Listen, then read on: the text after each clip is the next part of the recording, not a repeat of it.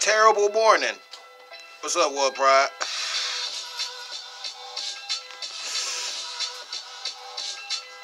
Yep, this is the aftermath of the Packers and the uh, Lions losing to the Lions losing to the Packers. So y'all been paying attention to my videos, look, man. For most of y'all who threatening the referees and all that, I agree. You're right. You right. Here's my thing though. And this is where me and a lot of Lions fans keep on differing from. Y'all keep harping on one thing, the referees. Now mind y'all, like I said, all that shit happened in the second half. Let's go back to the first half. Let's go back to the first quarter. See, one thing I'm not gonna keep doing, I'm not gonna let the Lions offense just get off like they innocent. No, they're not. You have to score points. You can't keep you can't keep scoring field goals praying your defense is gonna bail you out expecting to beat people. It's not gonna work like that. Especially not in the goddamn division.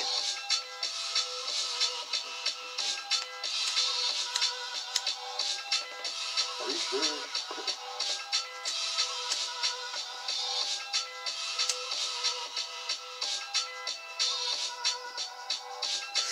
Now, for the most part, Matt Snapper, he was all right, but yeah, he could have did some shit different too.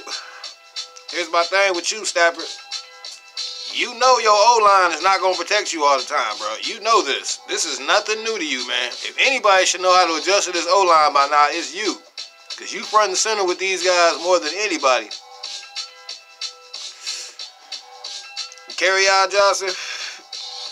You got to learn how to secure the ball, bags. I see this is to be a developing problem. You have to secure the ball, man.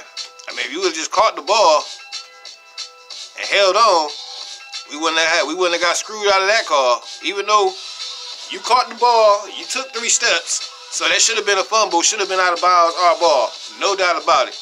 But you gotta stop fumbling to begin with, man. You gotta nip that shit in the bud. T.J. Hockenson, I'm noticing a pattern with you too. You keep dropping key passes. You've done that every game you played this year, except for the Cardinals game. Every other game you played in, you missed one game. The other three games you played in, you dropped at least one pivotal pass. Adjust that shit, man. Fix that shit.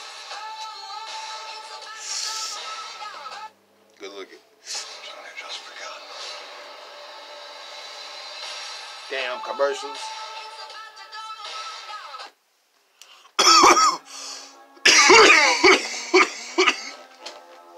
Adjust that shit, man, for real. All right, D-line, we getting pressure. We are getting pressure, but it's not enough.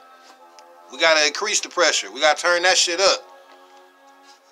I like what Darrell Bevell doing. You gotta get a little bit more creative though, De- though, uh, Bevell. We need touchdowns. Field goals are not going to do it. I knew when I seen Jim Beam five or six times yesterday. I knew we wasn't gonna win. I just knew it. God damn, we could have used Danny Amendola yesterday. I bet you any amount of money if we had Danny Amendola, we'd have won this game. Period. We should have won anyway though, because if the Lions would have went up, if the Lions at the least, we should have been up 17 nothing. I'm only being real, y'all. What's up, Gridiron Blitz? What up, Trox? What's up, Micro Mike? I'm only being real, y'all. So, man, I know I, I ain't been doing no predictions, really. I've been staying away, steering clear. I'm sorry, y'all. I got Minnesota killing us, man. I got Minnesota beating us convincingly. Period. I ain't even to give you no score. I just got the Vikings running away with it. We're to play the Vikings tight for probably a quarter and a half. They're to run away with it. I can just see it. Dalvin Cook to run all over us. Adam Thielen, he don't normally do that much against us. Stefon Diggs, he gonna kill us. Kevin Rudolph is gonna kill us. Kirk Cousins is gonna look like an MVP candidate. Watch what I tell you. I guarantee you. And if the Lions do win, I'm not crowing shit, y'all. I'm not, because I have reasons why I made the prediction or whatever.